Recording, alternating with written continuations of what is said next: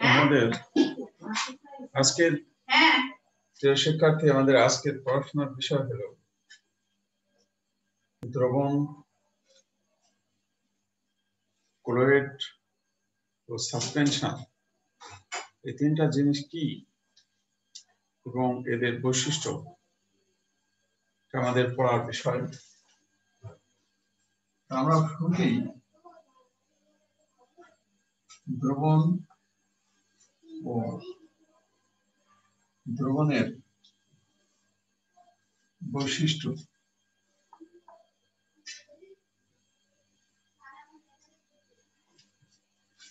আমরা এই বিষয়টা নিয়ে প্রথমে আলোচনা করব। তো দ্রবণের সংজ্ঞা আমরা ফার্স্টের এই পড়াশোনা করে এসেছি। দ্রাব্যতা দ্রাব্যতা গুণফল অধ্যায়ে। তো তারপর সেকেন্ড পার্টে এই অধ্যায়ে এই দ্রবণের সংজ্ঞা এবং দ্রবণের বৈশিষ্ট্য এই বিষয়টা এখানে আলোচনা আছে।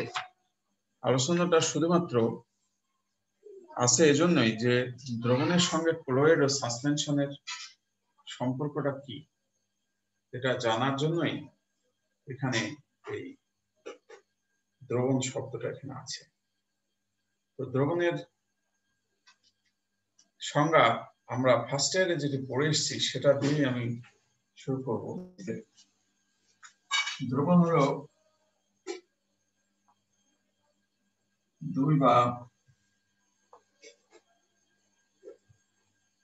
ততোধিক পদার্থের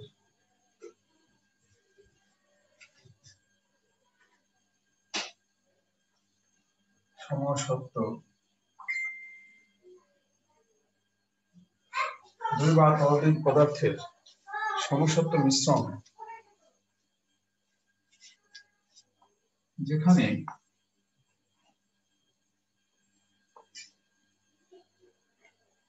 কণার আকার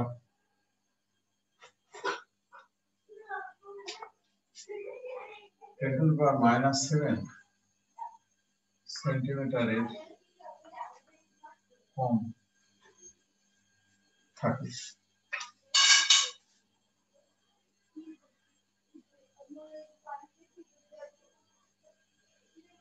তাকে দ্রবণ বলে।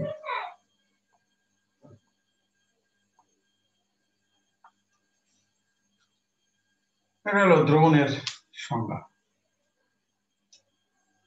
কণার আকার বলতে দ্রব কণার আকার। যেমন পানি, চিনি মিশালে শরবত, যেমন লবণ, পানি মিশালে দ্রবণ, যেমন গ্লুকোজ পানি মিশালে শরবত হয়, যেমন স্যালাইন পানি মিশালে স্যালাইন পানি, এটা সব এক একটা দ্রবণ। এখানে দ্রব কণার আকার টেন বা মাইনাস সেভেন সেন্টিমিটারের মধ্যেই থাকে।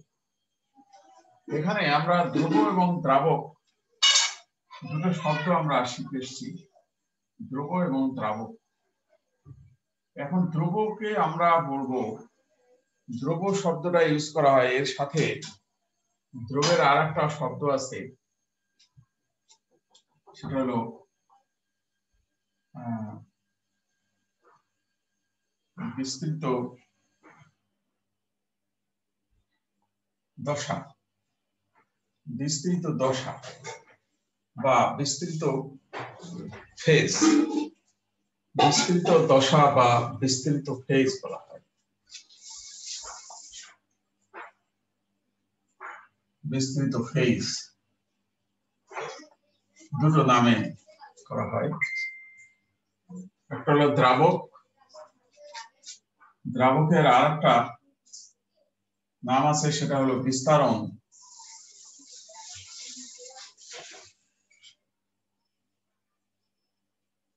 বিস্তারণ মাধ্যম, দ্রাবক বা বিস্তারণ মাধ্যম। তাহলে আমরা বিস্তৃত ফেজ এবং বিস্তারণ মাধ্যম, এই দুটো শব্দ সম্বন্ধে আমাদের জানতে হবে। যেমন আমরা এখন একটা যদি উদাহরণ দিই, এখানে ধরা যাক পানি আছে, পানির সাথে চিনি আছে। পানি এবং চিনি। দুটা পদার্থ দ্রবীভূত আছে। দ্রবণ তৈরি করেছে।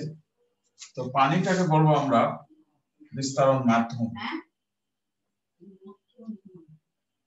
পানিটাকে বলব বিস্তারণ মাধ্যম। আর চিনিটাকে বলব বিস্তৃত দশা। এই দুটো ওয়ার্ড জানতে হবে। তো ডিসপারশন মাধ্যম, বিস্তারণ মাধ্যমকে ইংরেজিতে বলা হয় dispersion dispersion medium dispersion media media বা মিডিয়াম মিডিয়াম বলো। মিডিয়াম ডিসপারশন মিডিয়াম বলা হয়। আর বিস্তৃত ফেজটাকে ইংরেজিতে বলা হয় ডিসপার্স ফেজ ডিসপার্স ফেজ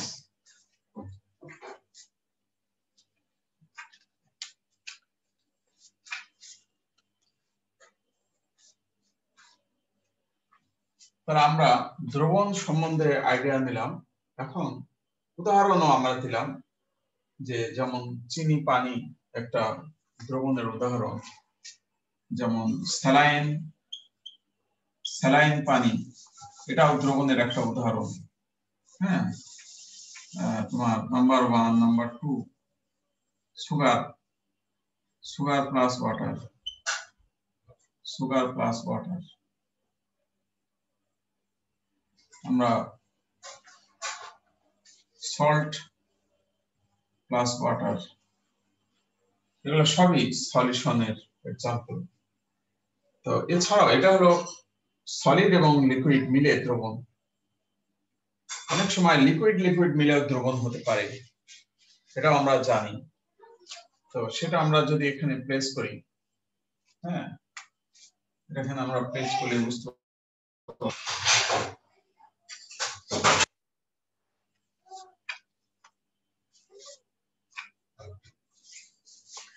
যেমন ইথানল ইথানল প্লাস পানি। এটাও একটা দ্রবণ। এখানে এটাও লিকুইড এটাও লিকুইড দুটোই লিকুইড এখানে হলো এটা সলিড এটা লিকুইড সলিড এবং লিকুইড আর এটা হলো লিকুইড লিকুইড হ্যাঁ লিকুইড লিকুইড দুটোই লিকুইড লিকুইড লিকুইডে দ্রবণ তৈরি হয়। লিকুইড লিকুইড মিলে দ্রবণ তৈরি হয়। দু ধরনের উদাহরণে আছে। যেমন, কার্বন টেট্রাক্লোরাইড যোগ ইথানল। যেমন বেঞ্জিন যোগ ইথানল।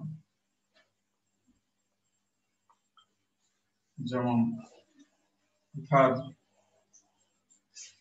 যোগ ইথানল ইথার যোগ কার্বন টেট্রাক্লোরাইড এগুলো সবগুলো হলো লিকুইড লিকুইড হ্যাঁ দ্রবণ তৈরি হতে হলে সলিড লিকুইডও হয়, আবার লিকুইড লিকুইডও হয়। আবার সলিড গ্যাস সেটাও হয়। যেমন প্যালাডিয়াম সারফেসের উপরে হাইড্রোজেন গ্যাস সাপ্লাই দিলে এটা প্যালাডিয়াম মেটালটা হলো সলিড এটা সলিড এবং গ্যাস প্যালাডিয়াম মেটালের উপরে হাইড্রোজেন গ্যাস সাপ্লাই দিলে শোষণ হয় এবং এরা দ্রবণ তৈরি হয়। হ্যাঁ? তোমার সলিড সলিড মিলেও দ্রবণ হতে পারে সলিড এবং সলিড সলিড যেমন তোমার কপার প্লাস জিঙ্ক যেমন কপার প্লাস টিন সব এক একটা দ্রবণের উদাহরণ।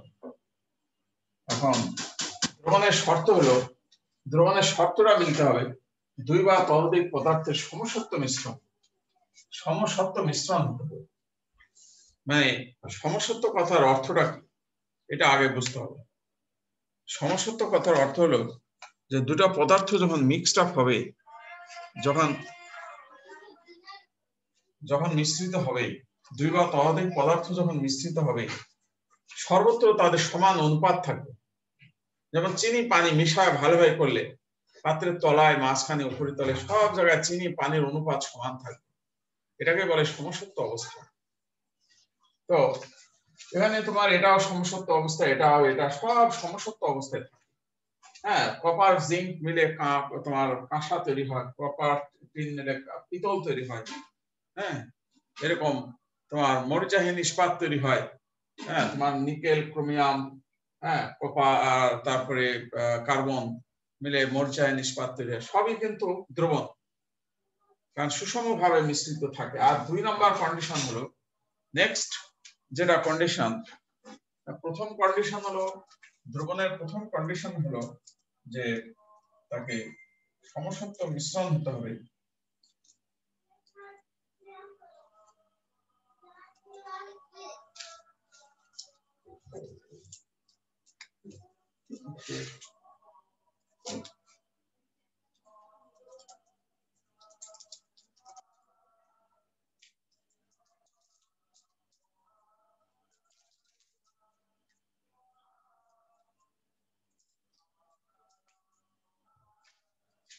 তোমার প্রথম শর্ত হলো যে সমসত্ব মিশ্রণ।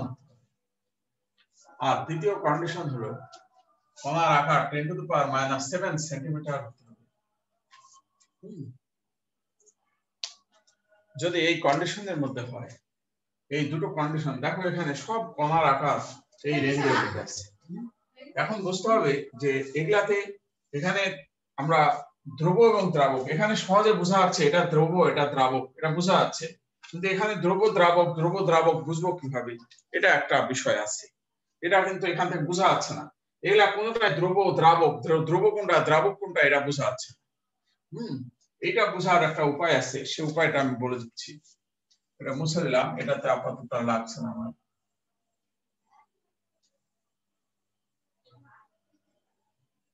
দ্রব মানে ডিসপার্স ফেস আর দ্রাবক মানে ডিসপারশন মাধ্যম, এটা মাথায় রাখতে হবে। এই অধ্যায়ে এখানে ইউজ করছে হ্যাঁ? তো আমি এখন তোমাদেরকে, তোমাকে যেটা বলছি যে দ্রব দ্রাবক বুঝব কীভাবে?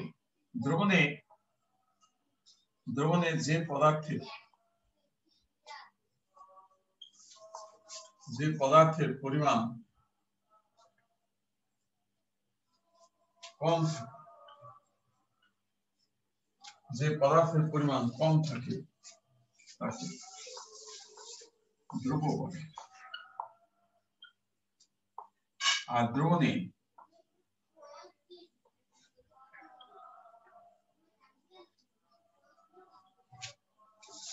যে পদার্থের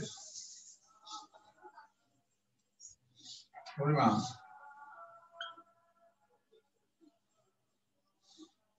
বেশি থাকে তাকে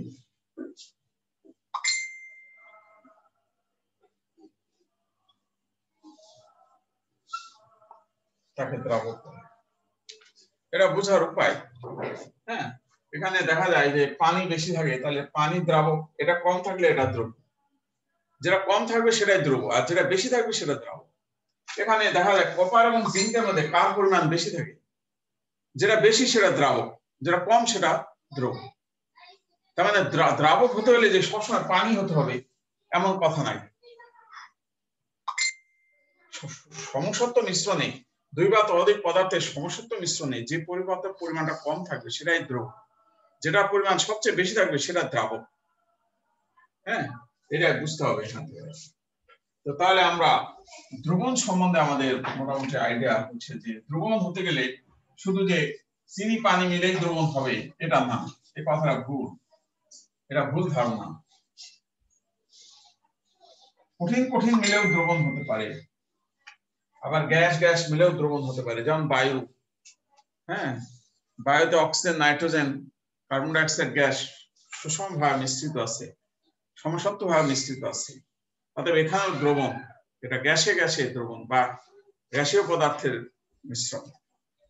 দ্রবণ, শর্তটা মানলেই দ্রবণ। তাহলে এখন আমরা দ্রবণের বৈশিষ্ট্য সম্বন্ধে কি আলোচনা দিতে পারি বা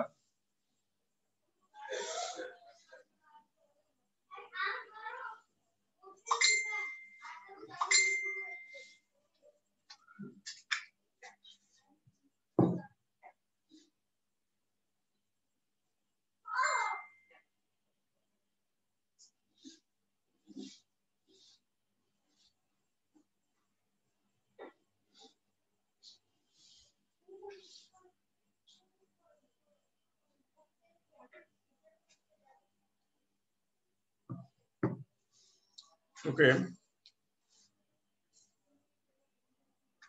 আমরা দ্রবণের বৈশিষ্ট্য তাহলে ইউজ করি। নাম্বার ওয়ান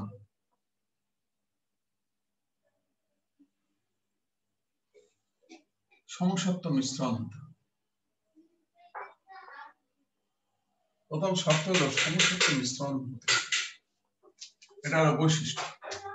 দুই নাম্বার বৈশিষ্ট্য হলো দ্রব কণার আকার।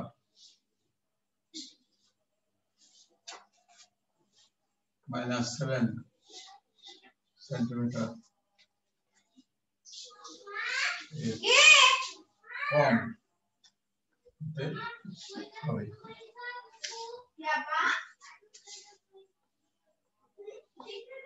Number three. এই দুটো কন্ডিশন থাকলে দ্রবণ হবে বৈশিষ্ট্য। নাম্বার থ্রি হলো দ্রুত ব্যাপিত হয়। ব্যাপিত হওয়া মানে কি? পদার্থ এক জায়গা থেকে আর এক জায়গায় স্বতঃস্ফূর্ত ভাবে ছড়িয়ে পড়া। এই ছড়িয়ে পড়াটা খুব দ্রুত হবে নাম্বার চার, তোমার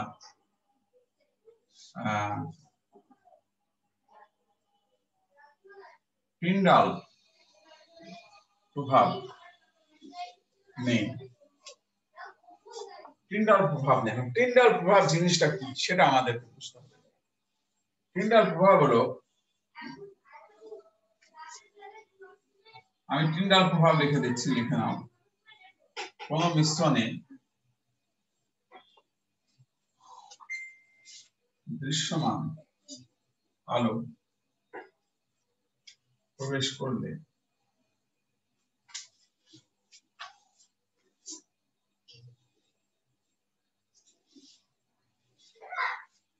যদি আলো বিচ্ছুরিত হয়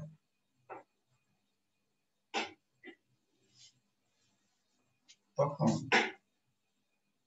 এই ঘটনাটি এই ঘটনাকে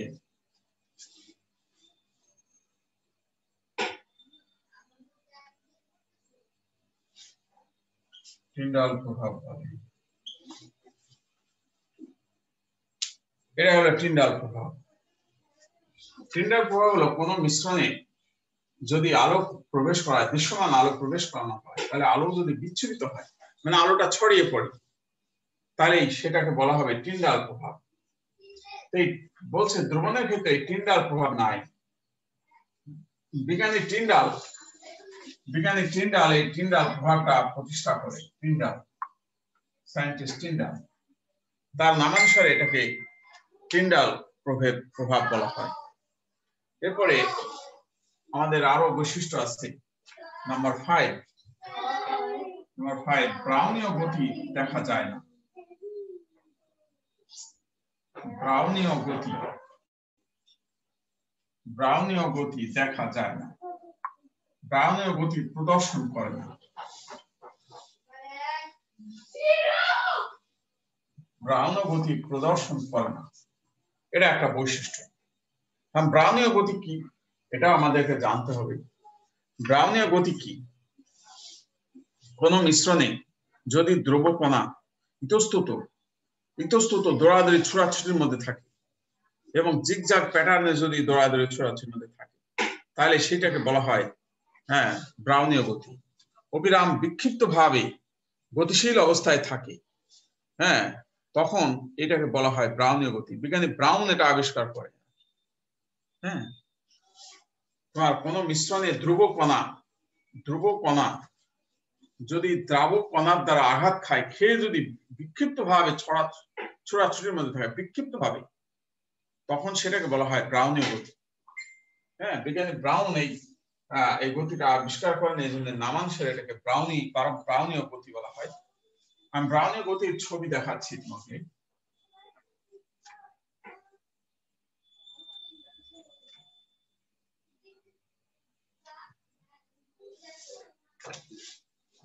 দেখো এরকম একটা কণা, ধরো। কণাটা এখানে আসছে, এখান থেকে এখানে, এখান থেকে এখানে, এখান থেকে এখানে, এখান থেকে এখানে এখানে, এখান থেকে এখানে এখানে। এখানে। কণাটা ইতস্তত চারিদিকে ছড়াছড়ির মধ্যে আছে। হ্যাঁ চারিদিকে ছড়াছড়ির মধ্যে আছে। এই যে, এই এই মানে এই গতিটাকে বলা হয় ব্রাউনীয় গতি।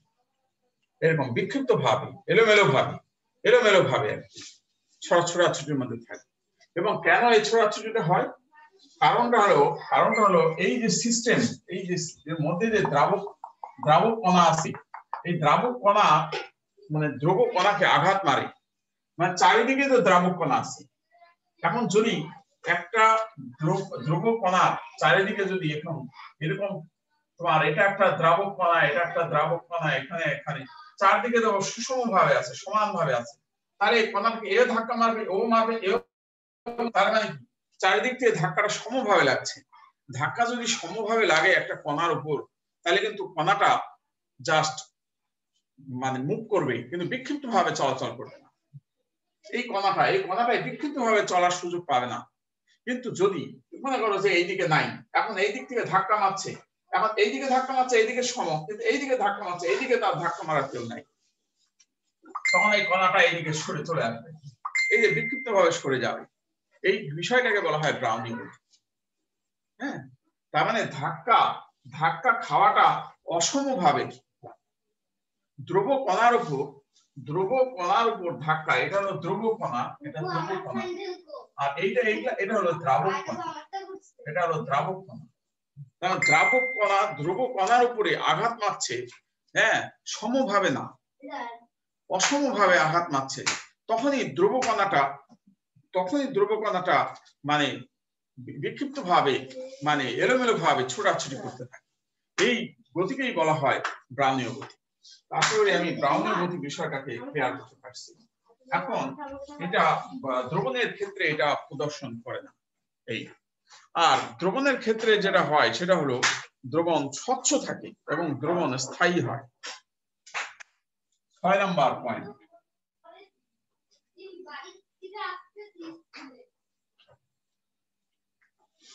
ছয় নম্বর পয়েন্ট হলো দ্রবণ স্বচ্ছ।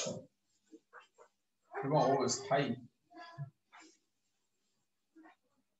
স্বচ্ছ বলতে পরিষ্কার দুইটা পদার্থ আছে এটা পরিষ্কার বুঝতে পারা যায় না হ্যাঁ একবারে মিশ্রিত অবস্থায় চলে যায় মিশে যায় একাকার হয়ে যায় আর স্থায়ী স্থায়ী মানে হলো দ্রবকণা ওই দ্রবণের মধ্যে সরিয়ে মিশিয়ে একবারে একাকার হয়ে থাকবে দ্রবকণা পাত্রের তলায় জমা হবে না দ্রবকণা পাত্রের তলায় জমা হয়ে যাবে কিছুক্ষণ পরে তা হবে না যেমন আমি কাদা পানি কাদা পানিকে যদি ভালোভাবে নাড়া দেই, নাড়া দিয়ে খুব ঘন হয়ে গেল। কিছুক্ষণ পরে দেখা গেলো কাদাটা পাত্রের তলায় জমা হয়ে গেল।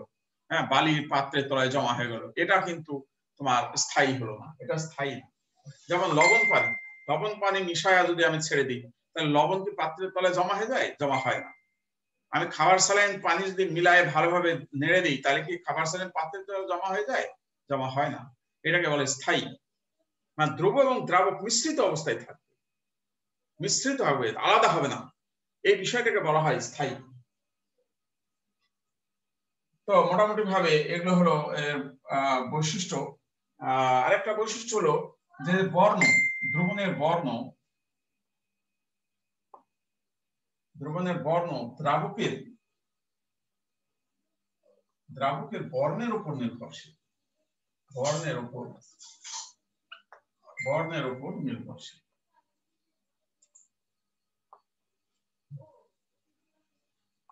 এটার মানে হলো যে দ্রাবকের বর্ণ যেটা হবে দ্রাবকের বর্ণ যদি লাল হয়, দ্রবণটা লাল হবে। যদি নীল হয়, নীল হবে, হলুদ হলে হলুদ হবে। মানে দ্রাবকের বর্ণটাই মানে দ্রবণের বর্ণটা হয়। বেশ করে এই মোটামুটি আমাদের এই হলো দ্রবণের বৈশিষ্ট্য।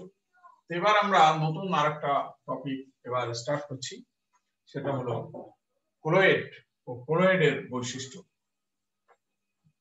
এটা আমরা মুছে দিলাম এখন।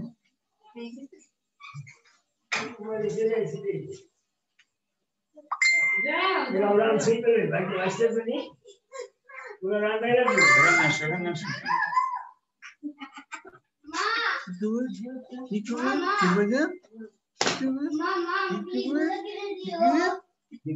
এর মতো ওই প্যাকেট মতো ওই বড়টা কিনে দিবা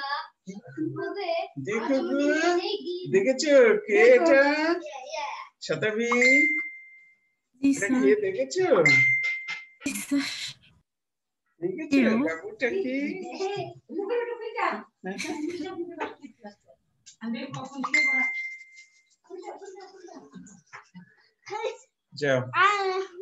আছে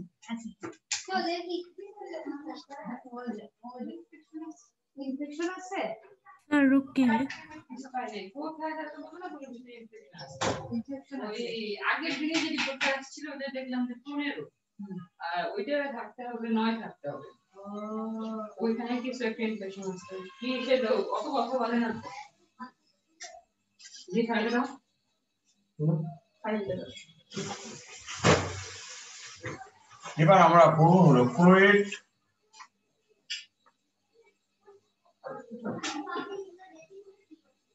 ফ্লুইড ও ফ্লুইডের বৈশিষ্ট্য।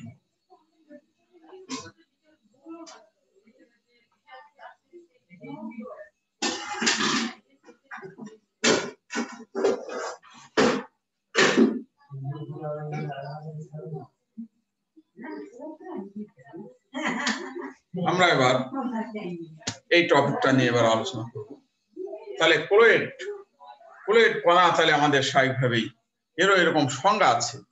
হ্যাঁ সংজ্ঞাটা আমরা এখন দেখব যে দুই বা ততোধিক হ্যাঁ দুই বা ততোধিক পদার্থের হ্যাঁ মিশ্রণের বা কোন যে মিশ্রণে, কোন মিশ্রণে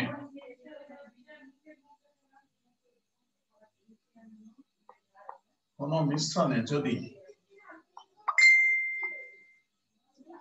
বিস্তৃত দশা বিস্তৃত দশার আকার বিস্তৃত দশার আকার ভিটামিনটা পাইনি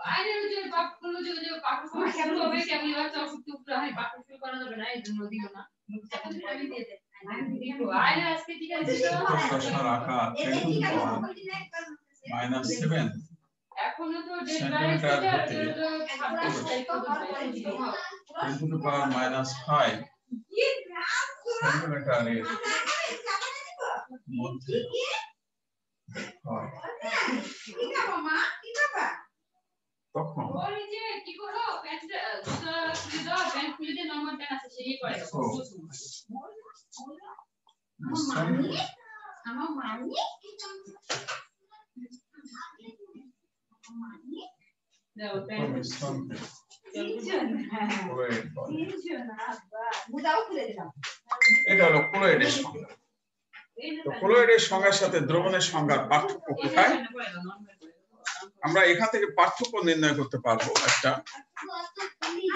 পার্থক্য হলো কণার আকার। মেন পার্থক্য হলো কণার আকার।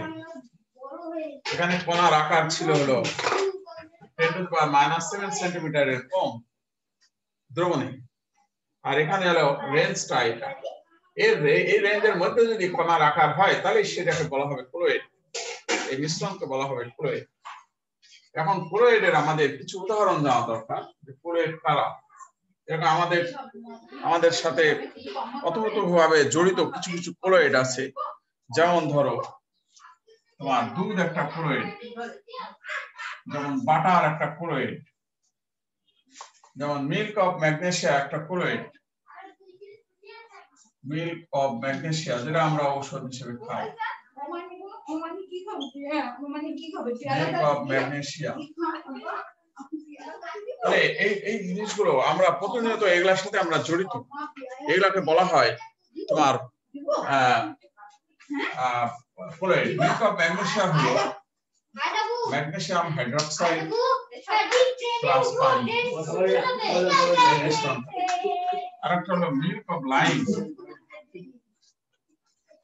milk of lime এটাও হলো ফ্লুইড মিল্ক অফ লাইমে কি থাকে? Calcium hydroxide. ক্যালসিয়াম হাইড্রোক্সাইড আর পানি। এই মিশ্রণটাকে বলা হয় মিল্ক অফ লাইম। এগুলা সবগুলোই হলো তোমার কোলেট তার মানে এখানে যে কণাটা আছে, দুধের মধ্যে যে ফ্যাট কণা, এই কণার আকার এই রেঞ্জের মধ্যে বাটার বাটারের মধ্যে ফ্যাট আছে, তার কণার রেঞ্জ এই রেঞ্জের মধ্যে।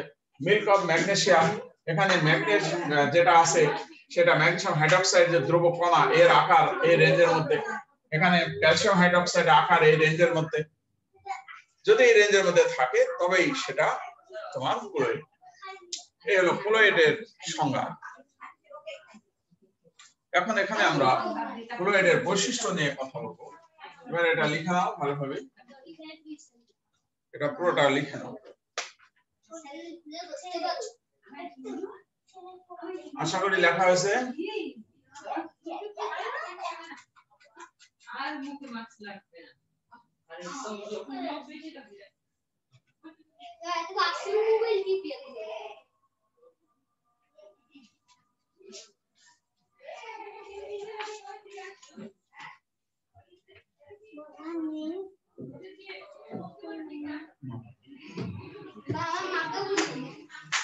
এবার ক্লোয়েডের বৈশিষ্ট্য। নাম্বার ওয়ান প্রথম বৈশিষ্ট্য যে ধ্রুব কণার আকার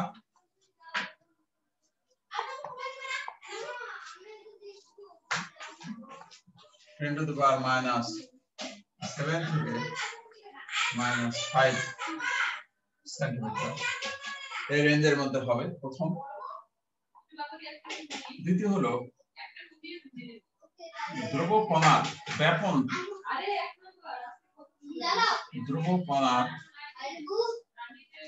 ব্যাপন। ধীরে হবে। ব্যাপন ধীরে হবে দ্রবণে যেমন দ্রুত হবে, এখানে একটু ধীরে হবে কারণ ধ্রুবকণার আকারটা বড় হয়ে যায়। ধ্রুবকণার আকার বড় হওয়ার কারণে ব্যাপন প্রক্রিয়াটা একটু স্লো হয়ে যায়। এটা মেন কারণ।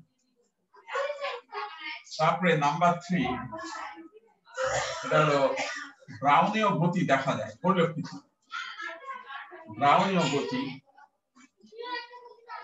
হ্যাঁ পরিলক্ষিত হয়।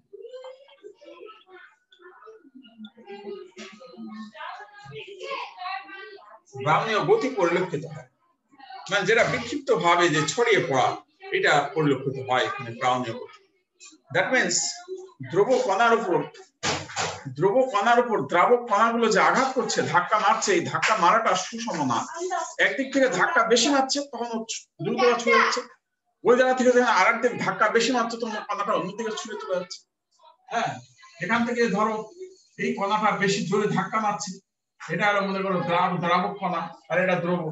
এটা দ্রব কণা এটা দ্রাবক কণা এখন এখানে ধাক্কা মারার কারণে এর, এখানে আসছে। এখান থেকে দেখা যাচ্ছে যে এদিকে একটা দ্রাবক কণা ওকে বেশি ধাক্কা মারছে, ও এদিকে চলে আসছে। হ্যাঁ এখান থেকে যাচ্ছে এইভাবে অ্যাঙ্গেলে অ্যাঙ্গেলে একটা দ্রাবক কণা এসে ধাক্কা মারছে, এরকম দ্রাবক কণা তখন এইভাবে চলে আসছে। হ্যাঁ এখান থেকে দেখা যাচ্ছে আবার আর একটা দ্রাবক কণা ওকে ধাক্কা মারছে, তখন এইভাবে চলে আসছে। এখানে আসার ফলে আরেকটা দ্রাবক কণা এইদিকে ধাক্কা মারছে, তখন এইভাবে চলে যাচ্ছে। এই যে মানে তার ধাক্কা খাওয়ার প্রবণতা, এগুলো হলো দ্রাবক, এগুলা দ্রাবক কণা হ্যাঁ আর এটা এটা হলো দ্রব এগুলা সব দ্রব এগুলা দ্রব এগুলা সব দ্রাবক। এগুলা সব দ্রাবক এগুলা হলো সব দ্রাবক। তাহলে এই বিক্ষিপ্ত ভাবে ছড়িয়ে পড়ার পিছনে কারণটা হলো এটা। হলো ব্রাউনের গতি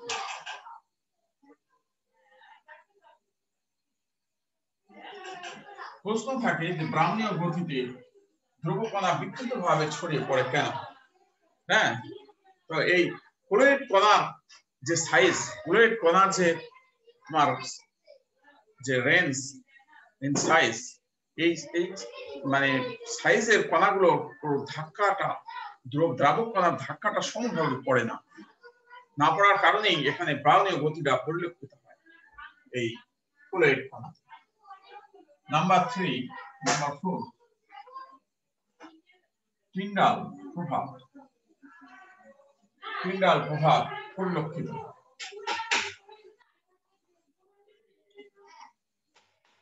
প্রভাব পরিলক্ষিত কারণ টিন্ডাল প্রভাব তো অলরেডি ব্যাখ্যা করলাম একটু আগে। যে কোন মিশ্রণে যদি দৃশ্যমান আলো চালনা করি, তাহলে বিচ্ছুরণ ঘটবে ছড়িয়ে পড়বে চারিদিকে। হ্যাঁ এইটাকে বলা হয় তোমার টিন্ডাল প্রভাব আর পাঁচ নাম্বার হলো যে এটা তোমার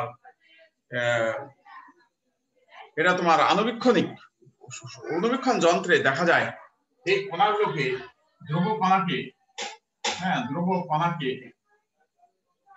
অনুবীক্ষণ যন্ত্রে দেখা এটা হলো তোমার এই কোলোয়েটের কণার বৈশিষ্ট্য। আর এরা টিন্ডাল প্রভাব আছে, এদের বর্ণটা, এদের বর্ণ মেনলি নির্ভর করে কোলোয়েট কণার উপর বর্ণ নির্ভর করে।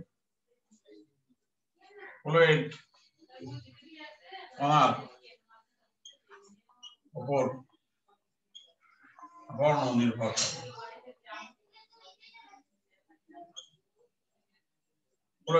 উপর বর্ণ নির্ভর করে। কারণ কোলোয়েড কণাটা সাইজে একটু বড় হওয়ার কারণে কোলোয়েড কণার উপরে যখন লাইট এনার্জি পড়ে, তখন রিফ্লেকশন হয়। এই যে বিচ্ছুরণ, এই বিচ্ছুরণের ফলে ওয়েভলেন্থ তরঙ্গ দৈর্ঘ্যটা চেঞ্জ হয়।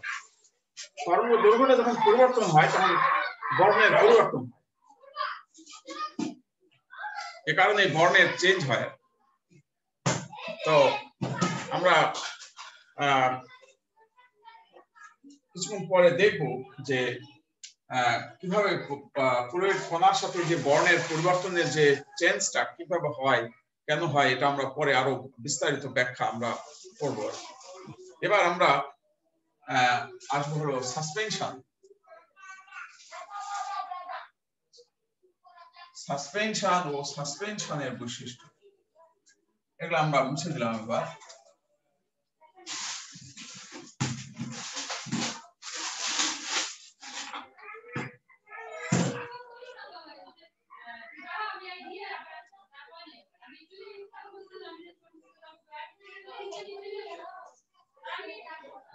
সাসপেনশন ও সাসপেনশনের বৈশিষ্ট্য সাসপেনশন কি জিনিস ওই দুই ততোধিক পদার্থের মিশ্রণ থাকবে। এবার কণার আকারটা আরও বড় হয়ে যাবে। এবার কণার আকারটা ten to the power minus হ্যাঁ ten to power minus seven সেন্টিমিটারের বড় হয়ে যাবে। মিশ্রণে বিস্তৃত ফেজের কণার আকার এই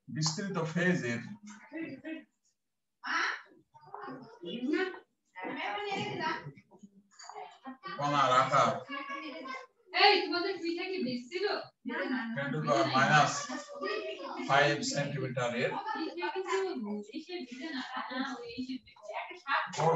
অরিজিনালের সাথে সাথে করে দিলে তখন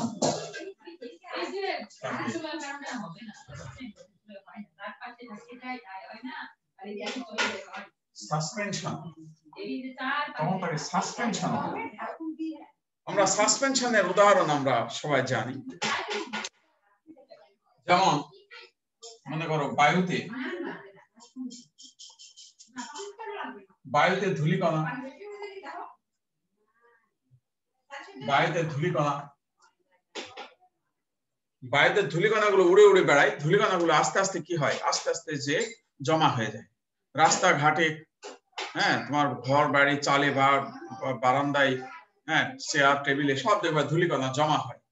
এই যে জমা হয়ে যায়, আলাদা হয়ে যায়, পৃথক হয়ে যায় হ্যাঁ এটাকে বলে সাসপেনশন এটা স্থায়ী না। যেমন ক্লোয়েডে স্থায়ী ছিল দ্রবণী স্থায়ী ছিল হ্যাঁ ক্লোয়েডের একটা বৈশিষ্ট্য বলতে ভুলে গেছি, যেটা হলো যে সিস্টেমটা স্থায়ী। দ্রবণের মতো স্থায়ী।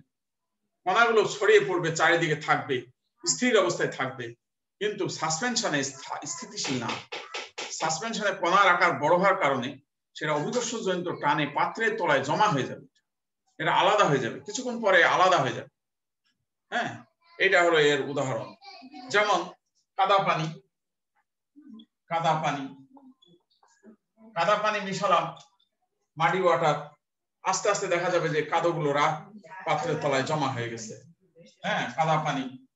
হ্যাঁ তারপরে তোমার বালু, বালি পানি। বালি মিশ্রিত পানি। কাদা পানি একই কথা। হ্যাঁ রক্ত। যেমন রক্ত। রক্ত, ব্লাডটা একটা গ্লাসের উপর যদি রেখে দিই, তাহলে দেখা যাবে যে গ্লাসের নিচে ছোট ছোট ছোট ছোট কণা তোমার জমা হয়েছে। হ্যাঁ এটা থেকে বোঝা যায় যে হ্যাঁ রক্ত একটা সাসপেনশন হ্যাঁ তো তারপরে চক পানি। চক পানি। এগুলা সব হলো তোমার হ্যাঁ সাসপেনশনের উদাহরণ। এগুলা প্রতিনিয়ত এগুলোর সাথে আমরা জড়িত। এই উদাহরণগুলোর সঙ্গে এখন আমাদের এই সাসপেনশনের বৈশিষ্ট্য বুঝতে হবে। তো সংজ্ঞাটা তো ক্লিয়ার বৈশিষ্ট্য এখন নিজের মতো নিজেই পারা করা যাবে। সবগুলোই হ্যাঁ আমরা দেখো, প্রথম বৈশিষ্ট্য হলো তাহলে কণার আকার।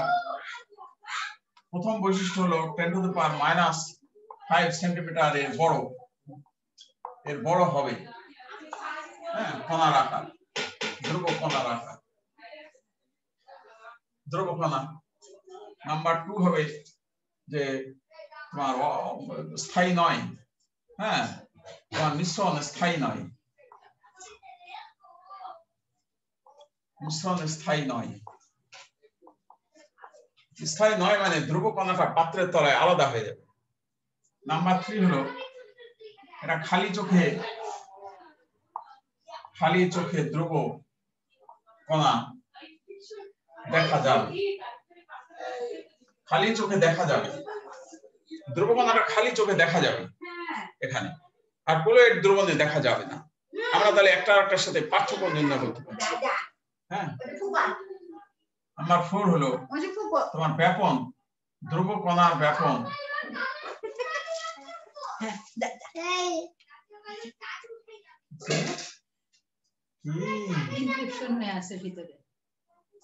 বিস্তৃত কণার আহ, ব্যাপন। ব্যাপন ধীরে হবে। ব্যাপন ধীরে হবে। বেশি ধীরে হয়ে যাবে স্লো হয়ে যাবে।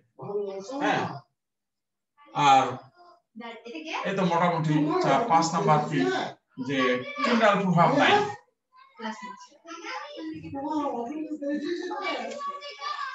প্রভাব নেই। তারপরে তোমার ব্রাউনি গতি নেই। ব্রাউনীয় গতি নেই এগুলা হলো এদের বৈশিষ্ট্য এই বৈশিষ্ট্যগুলো আমরা জানলাম এখন আমাদের পরবর্তীতে যেটা পড়ার বিষয় সেটা হলো যে কোলোয়েডের কোলোয়েডের প্রকারভেদ আমাদের পরবর্তী পড়ার বিষয় হলো কোলোয়েডের প্রকারভেদ আমরা হেডলাইনটা লিখে ফেলো কোলোয়েডের প্রকারভেদ ক্লাস নিচ্ছে হ্যাঁ এ। এ উপাদান এই কালিটা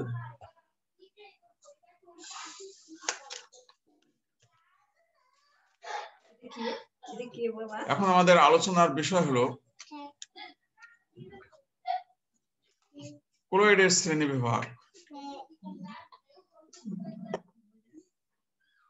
কোলোয়েড সাধারণত তিন ধরনের।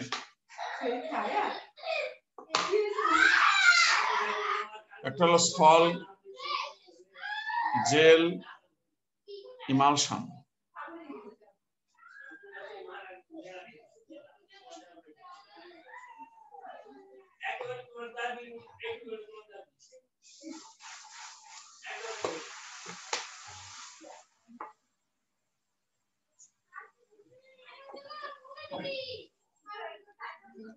আমরা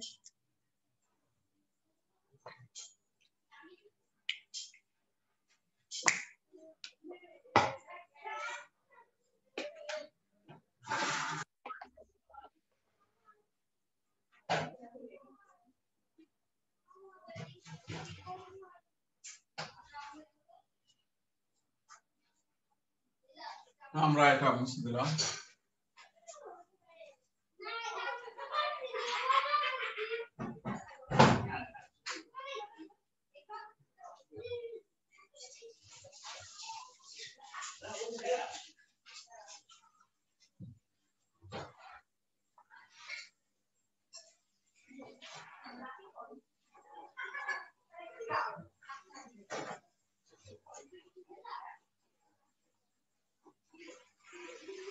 ఫ్లోరైడేస్ కనివేరు అక్కడలో నామసాలు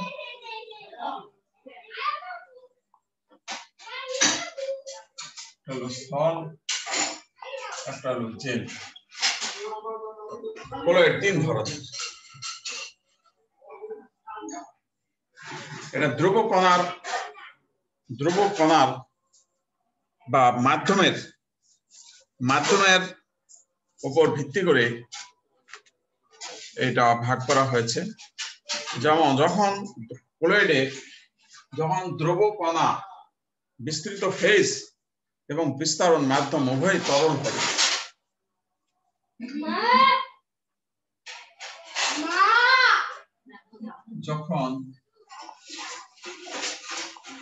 বিস্তৃত ফেজ ও বিস্তারণ মাধ্যম উভয়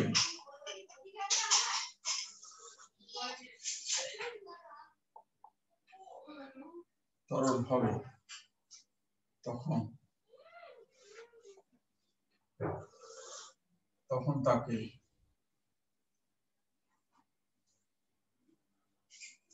তখন তাকে ইমালশন বলে।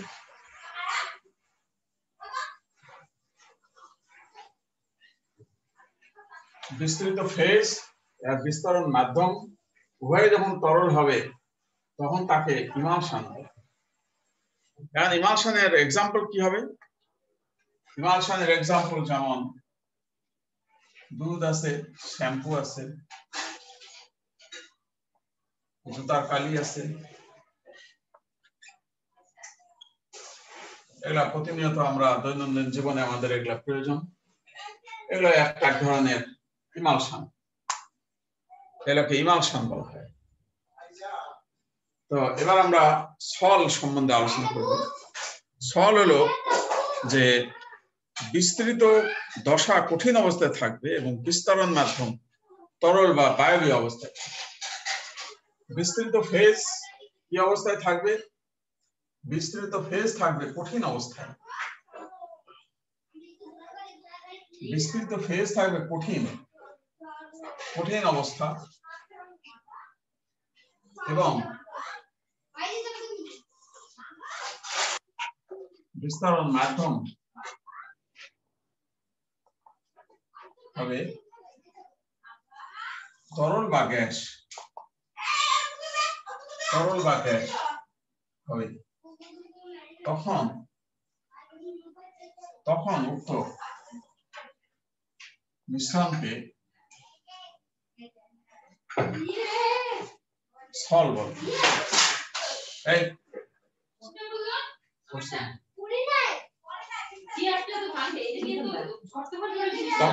মিশ্রণকে বলা তো স্থলের উদাহরণ কি? যেমন আমরা বলি হাইড্রোসল হাইড্রোসল মানে কি? বিস্তারণ মাধ্যমটা তরল হবে।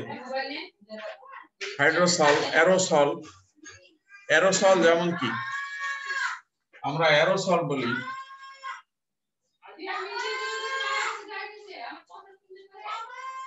কুয়াশা কুয়াশা মেঘ এগুলো সব অ্যারোসল আমরা অ্যারোসল ব্যবহার করি বা বাসায়। বাসায় আমরা স্প্রে অ্যারোসল ব্যবহার করি। কুয়াশা এগুলো অ্যারোসল তো, আর জেল জেলটা হবে যে যখন বিস্তৃত ফেজ কঠিন হবে এবং বিস্তারণ মাধ্যম, এটা বিস্তারণ মাধ্যম। বিস্তারণ মাধ্যম। গ্যাস হবে না।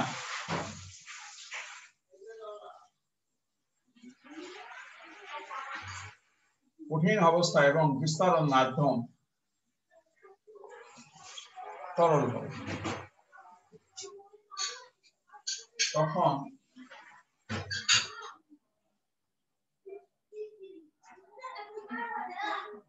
উক্ত মিশ্রণকে জেল বলা হয়।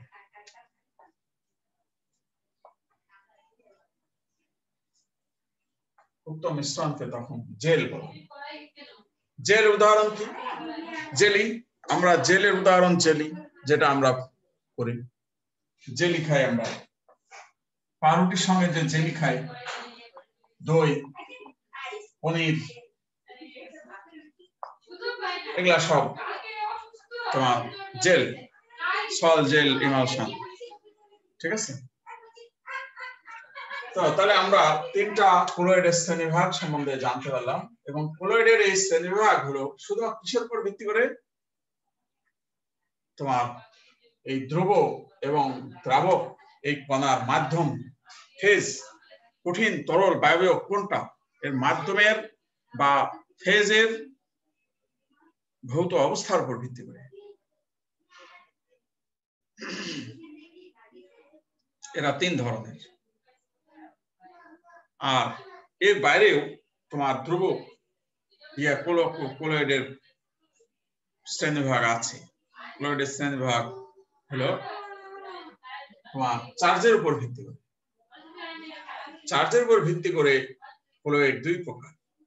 এটা হলো তোমার ধ্রুব এবং দ্রাবকের ভৌত অবস্থার উপর ভিত্তি করে নালসান সল এবং জেল তিন প্রকার। কিন্তু যদি বলা হয় কোলয়েডের কোলয়েড কণার চার্জ, চার্জের উপর ভিত্তি করে কোলয়েড কণা হলো দুই প্রকার। সেটা দেখাচ্ছি।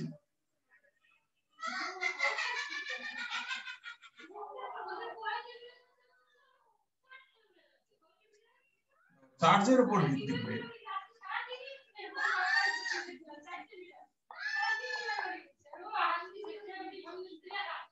চার্জের উপর ভিত্তি করে দু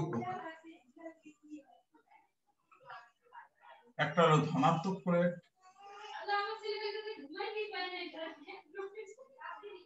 ধনাত্মক কোলয়েড আর একটা হলো ঋণাত্মক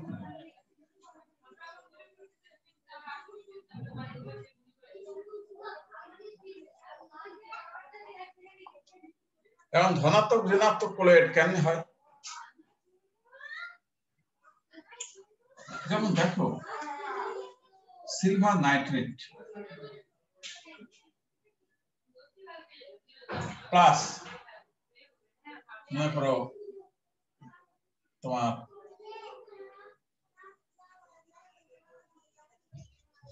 পটাশিয়াম আয়োডাইড দিয়েছে। দিলে সিলভার আয়োডাইড হলুদ অধক্ষেত্র হলুদ অধক্ষেত্র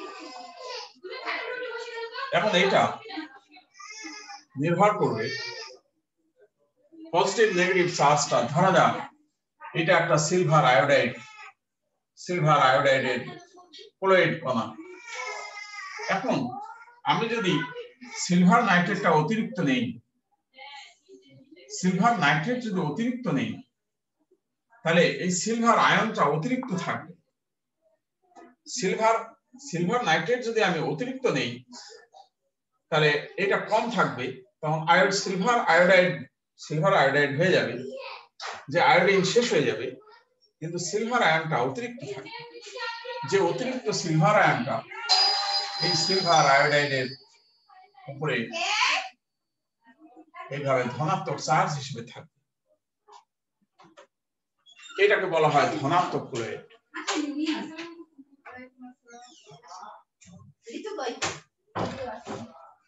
এটাকে বলা হয় ধনাত্মক ক্লোরাইড ধনাত্মক ক্লোরাইড এটাকে বলা হয় ধনাত্মক ক্লোরাইড এবার দেখো, এবার যদি এরকম হয় silver nitrate plus potassium iodide এবার পটাশিয়াম আয়োডাইডটা অতিরিক্ত দেওয়া হলো। অতিরিক্ত দিলে এবার সিলভার আয়োডাইড তৈরি হলো অদকের তৈরি হলো। এই সিলভার আয়োডাইড ক্লোরাইড কণা এবার সিলভার আয়ন কম আছে। এটা কম আছে আয়োডাইড আন বেশি তাহলে বিক্রিয়া করে সিলভার আয়োডাইড হওয়ার পরে অদকের পড়ার পর আয়োডাইড আন বেশি থাকে। তখন এই আয়োডাইড আন নেগেটিভ চার্জ এই সিলভার আয়োডাইডের চারিদিকে এইভাবে, বিস্তৃত এইভাবে ছড়িয়ে থাকবে এবং এটা তখন ঋণাত্মক চার্জ হবে। এটাকে বলা হয় ঋণাত্মক এটাকে বলা হয় ঋণাত্মক ক্লোরাইড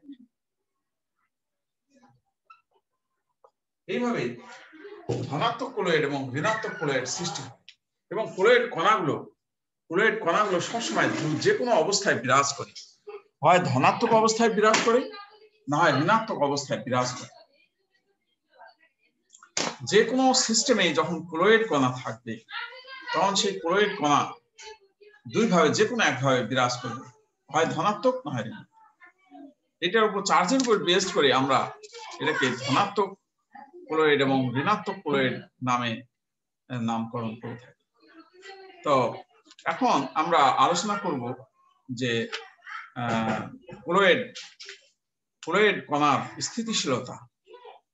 এটা আমরা এবার আলোচনা করব। এবার আমাদের পড়ার বিষয় হলো ক্লোরাইড কণার স্থিতিশীলতা। ক্লোরাইড কণাগুলো কেন স্থিতিশীল থাকে? যেমন আমি একটু আগে বললাম যে দ্রবণে দ্রবণে দ্রব কণাগুলো চারিদিকে ছড়িয়ে ছড়িয়ে থাকবে। সবসময় পাত্রের তলায় জমা হবে না দ্রব কণা যেটা আমরা পরীক্ষিত দেখি, বাড়িতে যদি স্যালাইন পানি করি, স্যালাইন তো পাত্রের তলায় জমা হয়ে যায় না। আমরা যদি চিনি পানি শরবত করি, চিনি তো পাত্রের তলায় জমা হয়ে যায় না শরবত তাহলে এটা স্থায়ী। কিন্তু সাসপেনশনের বেলায় এটা পাত্রের তলায় জমা হয়ে যায়। এটা ধ্রুবকণার আকার বড় হওয়ার কারণে এটা তো আমরা এখন ব্যাখ্যা করব যে ক্লোরাইড কণাগুলো কেন পাত্রের তলায় জমা হয় না? হ্যাঁ কি কারণে জমা হতে পারে না বা স্থায়ী থাকে কি কীভাবে? এই ব্যাখ্যাটা আমরা এখন দেব।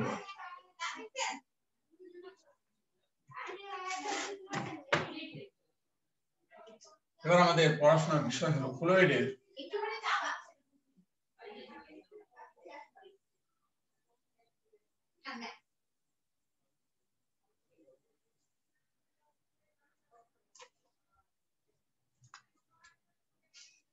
ক্লোরাইডের স্থিতিশীলতা।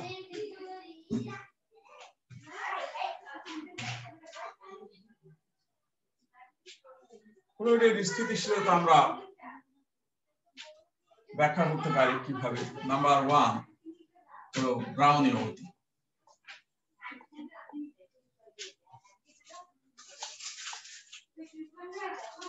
ব্রাউনীয় গতির আলোকে আমরা ক্লোরাইডের স্থিতিশীলতা ব্যাখ্যা করি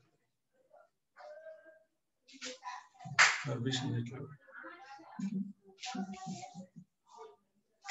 ব্রাউনের গতি অলরেডি আমি বলেছি একটু আগেই যে ক্লোয়েড যে ক্লোয়েড কণা ক্লোয়েড কণার উপর যে বিস্তারণ মাধ্যমের কণাগুলো যে ধাক্কা দেয়, এই ধাক্কাটা অসম হয়, সুষম হয় না। এই অসম ধাক্কার ফলে ক্লোয়েড কণাগুলো ইতস্তত বিক্ষিপ্ত ভাবে ছড়িয়ে চারিদিকে ছোড়াছুড়ি করে এই গতিকেই বলা হয় ব্রাউনীয় গতি। তাহলে এই ব্রাউনীয় গতির ফলে ক্লোরাইড কণাগুলো অনর্গল ছোড়াছুড়ির মধ্যে থাকে, দৌড়াদৌড়ির মধ্যে থাকে, এই কারণে স্থায়ী থাকে, এই কারণে ক্লোরাইড সবসময় স্থিতিশীল অবস্থায় বিরাজ করে। এটাই হলো এর ব্যাখ্যা।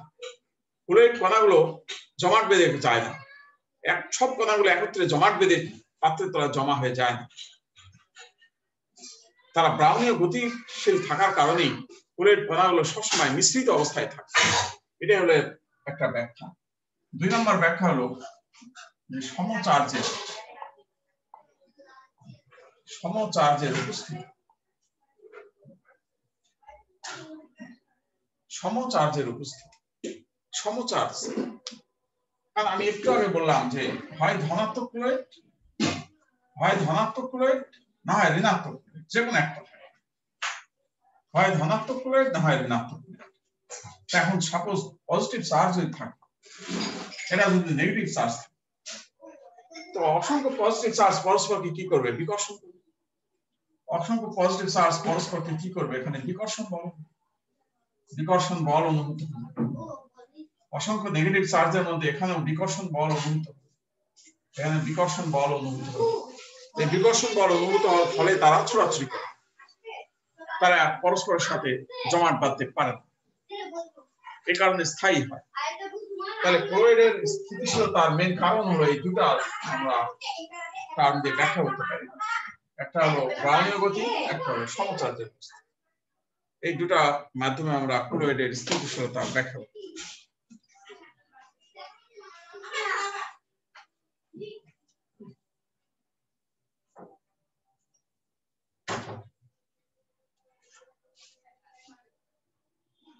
এবার আমাদের যেটা আলোচনার বিষয় সেটা হলো যে তোমার কোলয়েডের ব্রাউনীয় গতির ব্যাখ্যা। অলরেডি এটা আমরা ব্যাখ্যা করে দিয়েছি। কোলয়েডের ব্রাউনীয় গতির ব্যাখ্যা একটু আগেই বলেছি, কিছুক্ষণ আগেও বলেছি যে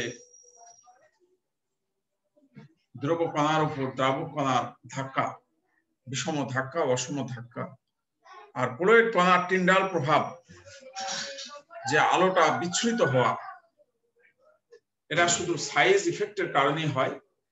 এই সাইজের উপরে যখন আলোক রশ্মি আপতিত হয়, তখন আলোক রশ্মিকে প্রবেশ পথে যেতে বাধা দেয় টিন্ডাল প্রভাব। হ্যাঁ এই বাধা দেওয়ার ফলেই তখন ক্লোয়েড কণা কর্তৃক আলো অধিশোষিত হয়। এর ফলে তোমার আলোর বিচ্ছুরণ ঘটে বা প্রতিফলন ঘটে। এবং এই বিষয়কে বলা হয় টিন্ডাল দৃশ্যমান আলোক রশ্মি যখন ক্লোয়েড কণার উপরে যেতে থাকে, তখন সেখানে বাধার সৃষ্টি হয়। আর এই বাধার সৃষ্টির ফলে প্রতিফলন বা বিচ্ছুরণ এই প্রবণতাটা সৃষ্টি হয়। তো এটা নিয়ে আমি বিস্তারিত আলোচনা করছি না। আশা করি বুঝতে পারছ। তো এই বিচ্ছুরণ ক্ষমতা নির্ভর করে যে দৃশ্যমান আলোর কম্পাঙ্কের উপর। দৃশ্যমান আলোর কম্পাঙ্ক যত বেশি হয়, তার বিচ্ছুরণ ক্ষমতা তত বেশি হয়। হ্যাঁ? এবং বিচ্ছুরণ ক্ষমতা যত বেশি হয়, তত তোমার আলো, তোমার যে কালার, বর্ণ, সে বর্ণটা কম তরঙ্গ বিশিষ্ট যে বর্ণ সেটা দেখায়। যেমন নীল। নীল কালার তরঙ্গ দৈর্ঘ্য ছোট, কম্পাঙ্ক বেশি। যদি বিচ্ছুরণ বেশি হয় তাহলে নীল দেখায়। আলোর বিচ্ছুরণ বেশি হলে নীল দেখায়। তো লাল আলো অপেক্ষা তাহলে নীল আলো হয় কেন হয়? কারণ হলো সেখানে বিচ্ছুরণ বেশি হয়। এই বিষয়গুলো আমরা বিভিন্ন জায়গায় দেখা যায় লাল আলো, নীল আলো হ্যাঁ? তো লাল আলোতে যে বিচ্ছুরণ, নীল আলোর বিচ্ছুরণ ক্ষমতা বেশি হয়। এই কারণেই এটা হয়। যেমন বায়ুমণ্ডলে বায়ুমণ্ডলে যে তোমার ইয়া আছে, ধুলিকণা আছে, এই ধুলিকণার উপরে যখন আলোক রশ্মি এসে পড়ে, তখন এখানে আলোক রশ্মির কি হয়? এখানে আলোক রশ্মির বিচ্ছুরণ হয়। এবং বিচ্ছুরণ হওয়ার ফলে সেই তরঙ্গদৈর্ঘ্য, নীল কালারের তরঙ্গদৈর্ঘ্য বিচ্ছুরণ হয়। হ্যাঁ এই কারণেই আমরা আকাশ নীল দেখি। আকাশ নীল দেখার পিছনে কারণ হলো এটা সমুদ্রের পানি দেখা যায় নীল কালার হয়। কারণ বিশাল সমুদ্র জলরাশিতে যখন সূর্য, রশ্মি, আলোক রশ্মি প্রতিফলিত হয়, সেখানে আলোক রশ্মির বিচ্ছুরণ হয়। সেখানে নীল কালার হয়। যেমন কুয়াশার মধ্যে দিয়ে যদি আলোক রশ্মি চালনা করা, কুয়াশার মধ্যে দিয়ে ট্রেন যাচ্ছে, কুয়াশার মধ্যে দিয়ে যখন বাস যাচ্ছে, তখন কুয়াশার মধ্যে দিয়ে আলোক রশ্মি চালানো, আলোক রশ্মি তখন দেখা যায় দূরে থেকে আলোক রশ্মির বিচ্ছুরণ ঘটে। এগুলো সব হলো কোয়াগুলেশন ইয়া সরি টিন্ডাল প্রভাব। যেমন দুধের মধ্যে দিয়ে যদি আলোক রশ্মি চালানো হয়, তাহলে আলোক রশ্মি বিচ্ছুরণ হয়। এটা হলো টিন্ডাল প্রভাব। এইভাবে আমরা তোমার বুঝতে পারি যে টিন্ডাল প্রভাবের ব্যাখ্যাগুলো। টিন্ডাল প্রভাব থাকার কারণে এইভাবে কালার পরিবর্তন হয়। তো আমরা এবার যে বিষয়টা আমাদের আলোচনার বিষয়, সেটা হলো যে ক্লোয়েড কণার কোয়াগুলেশন এবার আমাদের হেডলাইন হলো fluid coagulation. To it.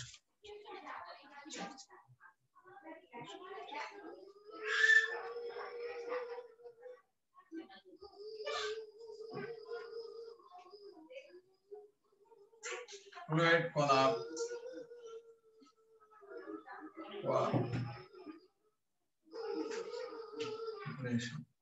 Fluid coagulation. কারণ কোয়াগুলেশন জিনিসটা কি সেটা আমাদেরকে বুঝতে হবে। কোয়াগুলেশন মানে হলো জমাট বাঁধা। আমাদের বাসায় দেখো যে আমরা যখন গরুর দুধ খাই, তো গরুর দুধটা রাখা আছে। যদি গরুর দুধের মধ্যে আমরা যদি একটু লেবুর রস ছেড়ে দেই, তাহলে দেখা যায় যে দুধের যত ফ্যাট চর্বি সব জমাট বেঁধে গেছে। একত্রিত জমাট হয়ে বেঁধে গেছে। এই বিষয়টাকে বলা হয় কোয়াগুলেশন কোয়াগুলেশন মানে জমাট বাঁধা তঞ্চন একত্রিত হওয়া হ্যাঁ? এটাকে বলা হয় কোয়াগুলেশন আমরা এই কোয়াগুলেশনটা নিয়ে এখন আমরা আলোচনা করব। যে প্রক্রিয়ায় ফ্লুইড মিশ্রণে কণা পরস্পর জমাট বাঁধে, তাকেই বলা হয় কোয়াগুলেশন যে প্রক্রিয়ায়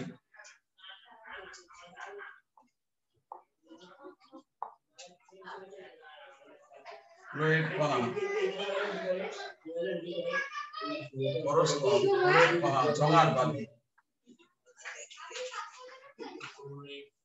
ফ্লুইড কণা জমাট বাঁধে তাকে তাকে কোয়াগুলেশন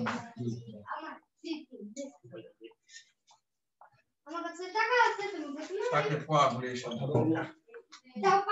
আমরা কোয়াগুলেশন করে লাভটা কি আমাদের কোয়াগুলেশন ফ্লুইড কণা একত্রিত জমাট করে লাভটা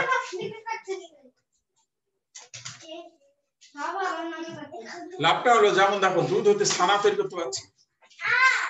দুধ হতে হয়ে যাচ্ছে। তাহলে আমাদের লাভ আছে না? দেখো, পানিতে অসংখ্য ধরনের ময়লা, আবর্জনা সব ছড়িয়ে আছে, বিশু পানি দূষিত হয়ে আছে। এই দূষিত পানির যে দূষিত কণা, এই কণাগুলোকে যদি আমরা পৃথক করতে পারি, জমাট বাঁধায়, একত্রিত জমাট বেঁধে যাবে। জমাট বেঁধে যদি পৃথক করতে পারি, তাহলে এটা কি কোয়াগুলেশন না? আমরা বাসা বাড়িতে যে আমাদের ওয়াসার পানি, এই পানিটাকে নিয়ে বাড়িতে ফুটিয়ে ফুটাই। ফুটানোর পরে দেখব পাত্রের তলায় কতগুলো ময়লা, আবর্জনা, জমাট বেঁধে পড়ে রয়েছে। তারপরে ছেঁকে পৃথক করি। এটা কি কোয়াগুলেশন না? এটাও কোয়াগুলেশন কোয়াগুলেশনের গুরুত্ব আছে। কোয়াগুলেশনে পরিবেশ দূষণ রোধ হয়। কোয়াগুলেশনের মাধ্যমে আমাদের খাবার তৈরি করা যায়। তাহলে কোয়াগুলেশনের অনেক গুরুত্ব। আমি যে দুটা তিনটা উদাহরণ দিলাম এগুলা হলো কোয়াগুলেশনের উদাহরণ। তো এখন কোয়াগুলেশন আমরা কীভাবে করতে পারি? কোয়াগুলেশন আমরা কীভাবে করব? এটা এখন আমাদের পদ্ধতি কোয়াগুলেশন পদ্ধতি। এবার আমরা আলোচনা করব কোয়াগুলেশন পদ্ধতি।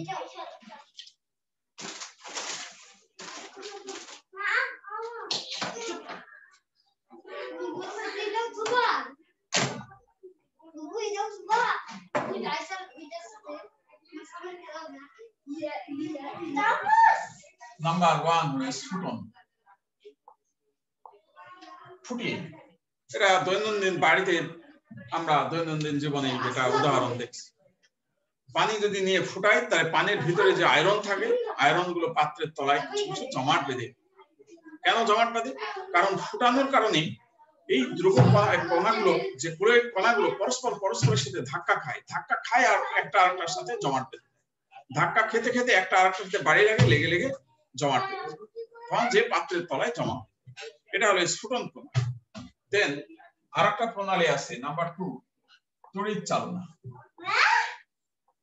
তড়িৎ চালনা। তড়িৎ চালনা আমরা তড়িৎ চালনা হলে একটা তড়িৎ বিশ্লেষণ কোষ লাগবে এটা। এটা আমরা ভালোভাবে জানি। এরকম ব্যাটারি, একটা নেগেটিভ প্রান্ত, একটা পজিটিভ এখন এখানে মনে করো ফ্লুইড কণা আছে।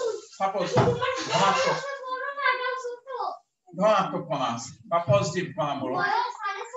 পজিটিভ কণা আছে নেগেটিভ কণা কারণ আমরা জানি ধনাত্মক ফ্লুইড ঋণাত্মক ফ্লুইড ঋণাত্মক পজিটিভ চার্জ আর ধনাত্মক ধনাত্মক ঋণাত্মক ফ্লুইড দ্বারা আকৃষ্ট হবে।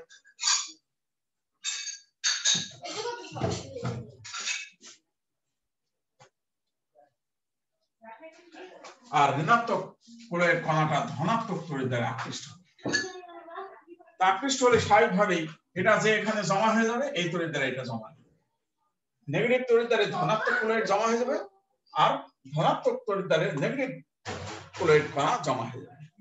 তাহলে তড়িৎ বিশ্লেষণের মাধ্যমে আমরা খুব সহজে এই ফ্লুইড কণাকে পৃথক করতে পারব। পরিবেশ দূষণ রোধ করতে পারব। এটা একটা পদ্ধতি। তড়িৎ বিশ্লেষণ প্রণালী ছাড়া আরও পদ্ধতি আছে। সেটা হলো নাম্বার থ্রি। তড়িৎ বিশ্লেষক প্রয়োগে।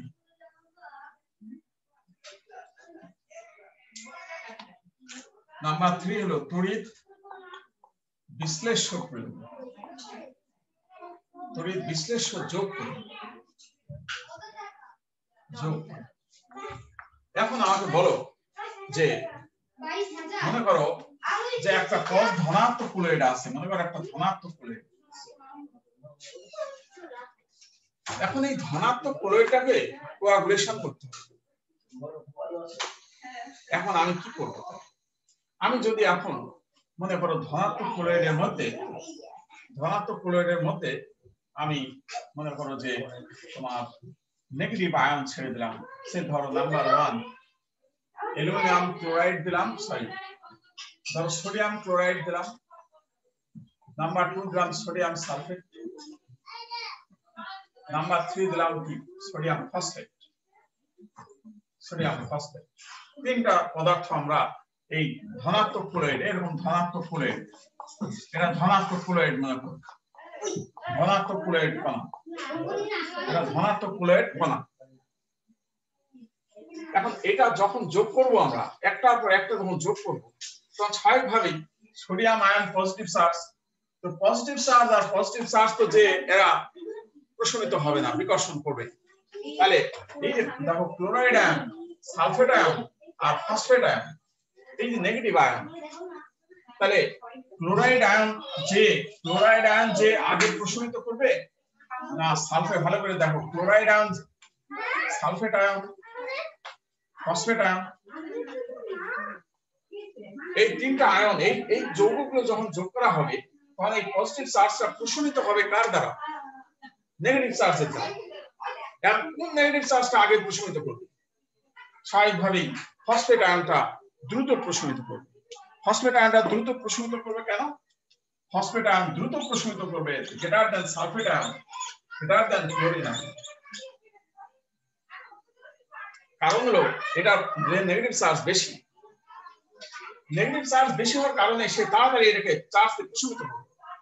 যত তাড়াতাড়ি প্রশমিত করবে, তত তাড়াতাড়ি কোয়াগুলেশন হবে। তার মানে কোয়াগুলেশন কখন হবে? যদি আমি এই ধনাত্মক চার্জটাকে প্রশমিত করতে পারি নিরপেক্ষ করতে পারি। তাহলে ধনাত্মক চার্জকে প্রশমিত করার জন্য আমার নেগেটিভ চার্জ লাগবে নেগেটিভ চার্জ দিলেই হবে না। নেগেটিভ চার্জ কার বেশি সেটা দেখতে হবে। যার নেগেটিভ চার্জ বেশি, সে তাড়াতাড়ি প্রশমিত করবে। আর যত তাড়াতাড়ি প্রশমিত করবে, তত তাড়াতাড়ি কোয়াগুলেশন তাহলে কোয়াগুলেশন পাওয়ার নির্ভর করে ঋণাত্মক চার্জের সংখ্যার উপর। তাহলে আমরা কথাগুলো কি লিখতে পারি এখন তাহলে? কথাগুলো লিখতে পারি যে তোমার ঋণাত্মক তড়িৎ বিশ্লেষের তড়িৎ বিশ্লেষের ঋণাত্মক চার্জ যত বেশি হবে। এরকম লিখতে পারি তড়িৎ বিশ্লেষের ঋণাত্মক চার্জ ঋণাত্মক চার্জ যত বেশি হবে। ধনাত্মক ক্লোরাইড ধনাত্মক ক্লোরাইড তত দ্রুত। তত দ্রুত প্রশমিত হবে। তত দ্রুত প্রশমিত হবে। তত দ্রুত প্রশমিত হবে এবং এবং দ্রুত কোয়াগুলেশন হবে দ্রুত কোয়াগুলেশন দ্রুত কোয়াগুলেশন হবে। এই কথাগুলো দেখো এখন ক্লিয়ার ভালোভাবে বোঝার চেষ্টা করুন এটা ধনাত্মক ক্লোরাইড আমি একে প্রশমিত করব। প্রশমিত করলে কার কোয়াগুলেশন হবে। আর প্রশমিত করলে কি লাগবে? ঋণাত্মক চার্জ আর ঋণাত্মক চার্জ এবং ফসফেট আয়নের চার্জ বেশি সালফেট কম ক্লোরাইড আরও কম। যার ঋণাত্মক চার্জ বেশি, সে তাড়াতাড়ি ধনাত্মক ক্লোরাইডকে প্রশমিত করবে। যত তাড়াতাড়ি প্রশমিত করবে, তত তাড়াতাড়ি কোয়াগুলেশন এই সূত্রটা কে দিয়েছে? এটা একটা সূত্র। এই সূত্রটা দুজন বিজ্ঞানী করছে। একজনের নাম হলো হার্ডিং হ্যাঁ সূত্র, আমি বিজ্ঞানের নাম লিখে দিচ্ছি এখানে। বিজ্ঞানীর নাম হলো Hardy. Hardy and Hardy and Schulze. দুজন বিজ্ঞানী হার্ডি এন্ড সুলজ এই দুজন বিজ্ঞানী এই সূত্রটা প্রতিপাদ প্রতিষ্ঠা করছে। ওনারা প্র্যাকটিক্যাল করে দেখছেন যে তোমার ধনাত্মক ক্লোরাইড কোয়াগুলেশন দ্রুত হচ্ছে, কখন? যখন ঋণাত্মক চার্জ যদি বেশি হচ্ছে। এদেরকে কি বলা হয়? এই তড়িৎ বিশ্লেষককে কি বলা হয়? কোয়াগুলেন্ট এদেরকে বলা হয় কোয়াগুলেন্ট কোয়াগুলেন্টের সংজ্ঞা কি? যে রাসায়নিক পদার্থ, যে রাসায়নিক পদার্থ ক্লোরাইড কণাকে কোয়াগুলেশন ঘটায়। তাহলে আমি এটা লিখে দিচ্ছি। লিখে নাও।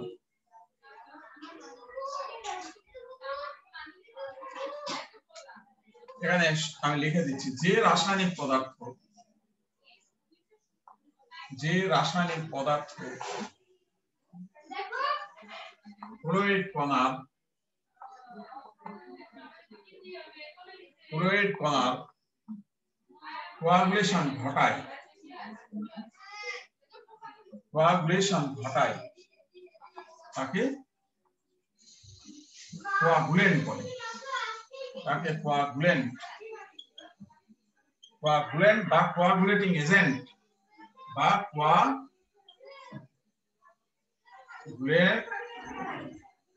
গুলেটিং এজেন্ট। বা কোয়াগুলেটিং এজেন্ট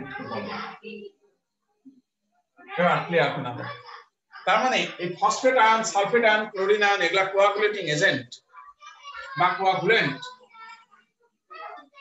তাহলে আমরা তাহলে আমরা এখন আবার পাশে দেখো এই লেখার এগুলা লেখা শেষ, লেখা হয়েছে। মুছে দিলাম। তাহলে আমরা এখন কি লিখতে পারি? ফিনিশিং কি লিখতে পারি? ফিনিশিং এভাবে লিখতে পারি যে কোয়াগুলেটিং এজেন্টের কোয়াগুলেন্ট কোয়াগুলেন্টের চার্জ চার্জ যত বেশি হবে চার্জ যত বেশি হবে হ্যাঁ তত দ্রুত তত দ্রুত তোমার কোয়াগুলেশন ঘটবে তত দ্রুত কোয়াগুলেশন হবে। তত দ্রুত কোয়াগুলেশন এটাও সূত্র। এটাও সূত্র। এই সূত্র কে দিচ্ছে? এই সূত্র দিচ্ছে scientist Hardy and Hardy and Schulze দুজন হার্ডি এন্ড সুলজ এই দুজন বিজ্ঞানীর এই ফর্মুলা সূত্র। কোয়াগুলেটিং কোয়াগুলেটিং এজেন্টের চার্জ যত বেশি হবে চার্জ বেশি হলে চার্জ তাড়াতাড়ি প্রশমিত করবে। তাড়াতাড়ি প্রশমিত করলেই কোয়াগুলেশন তাড়াতাড়ি হবে। তো তাহলে আমরা এইভাবে কোয়াগুলেশন পদ্ধতি সম্বন্ধে আমরা জানতে পারলাম এবং পাশাপাশি আমরা হার্ডি অ্যান্ড সুলজের সূত্র জানতে পারলাম।